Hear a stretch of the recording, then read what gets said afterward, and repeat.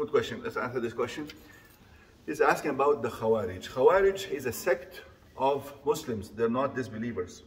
Khawarij are people um, uh, who go to the very extreme, and they um, they claim that whoever commits a major sin is a disbeliever. They are actually Muslims, but they have gone to the extreme, and they claim that if you sin, then you're not a Muslim, and they uh, become your enemies, and they start attacking Muslim communities.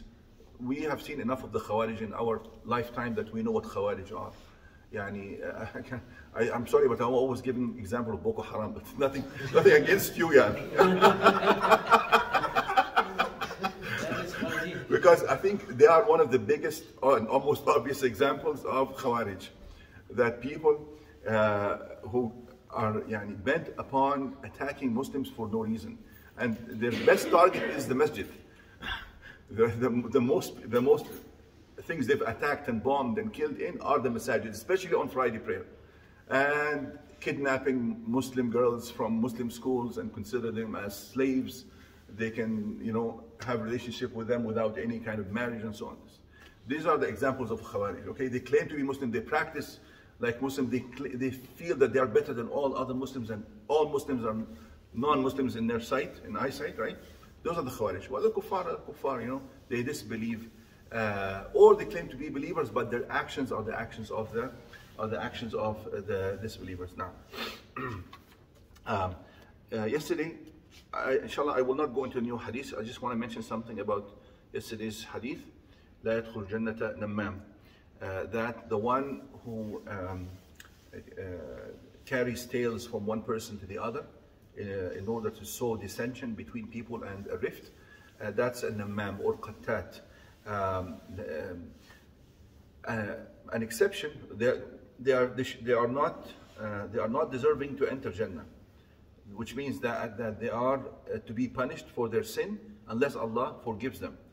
But an exception is if you deliver the information from one person to the other for a good purpose. So, for instance, you feel that you hear, you hear this person saying things and you feel that he will actually harm this other person. So you, you are here supposed to deliver the information to this other person to warn him. To warn him of a threat, then no, you are not a man. This doesn't apply to you. This is not like, uh, this is not the kind of uh, tale uh, carrying or tail delivering that is uh, mentioned in this hadith. What is mentioned in this hadith is somebody for no good reason just wanting to create problems amongst create problems amongst uh, others, right? This is what is prohibited. Also, the previous hadith that talks about ليس منا من رفع علينا السلاح رفع علينا السلاح من حمل علينا السلاح فليس منا. Whoever attacks us with weapons is not one of us, for instance. Also, there's an exception. An exception is uh, mentioned in Surah Al-Hujurat, for instance, وَإِن طَائِفَتَانِ مِنَ الْمُؤْمِنِينَ قَتَتَلُوا فَأَصْلِحُوا بَيْنَهُمَا فَإِن بَغَتْ إِحْدَاهُمَا عَلى الْأُخْرَى فَقَاتِلُوا الَّتِي تَبْغِي When uh, you, uh, when two uh, Muslim nations or groups are fighting, and you have to fight to stop this fight, for instance, like one of them uh, is the aggressor, and there's no way to stop them just by admonition or by advice, then the only way for you to stop them, for instance, is to uh, fight them back with weapon, then this is an exception. Yes, it's allowed. It's actually not only allowed, but it's an obligation on the Muslim community to do so to stop their aggression. So, he, so although the hadith says, whoever attacks us with a weapon is not one of us, that's not that's a general ruling. But there's always exceptions. Just like I mentioned, the exception of namam. Here's also a, good example of uh, of an exception that uh, if, for a just cause uh, that you had to carry the weapon to protect the weak, for instance. Um, for instance, a group of thieves are coming to attack your house, and they are Muslims, and uh, there's no way to stop them but to carry a weapon to protect yourself and your family. Then that doesn't apply to you. Self-defense, or for the for the benefit of the Muslim community, or by under the command of the Muslim uh, just Muslim ruler, who's asking you to fight with him to stop some kind of uh, you know rebellion, for instance, that's going to create chaos in the whole uh, nation.